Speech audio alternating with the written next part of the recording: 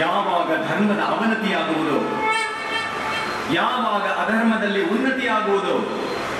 ಆಗೆಲ್ಲ ಸತ್ಪುರುಷರ ಉದ್ಧಾರಕ್ಕಾಗಿ, ಅಧರ್ಮೀಯರ ವಿನಾಶಕ್ಕಾಗಿ, ಧರ್ಮದ ಪುನಃಸ್ಥಾಪನೆಗಾಗಿ ನಾನು ಮತ್ತೆ ಮತ್ತೆ ಜನ್ಮ ತಾಳುತ್ತೇನೆ. ಇದು ಪ್ರತಿಯುಗದಲ್ಲೂ ಆಗುತ್ತಲಿದೆ. ಹಾಗೂ ಮುಂದೆಯೂ ಹಾಗೆಯೇ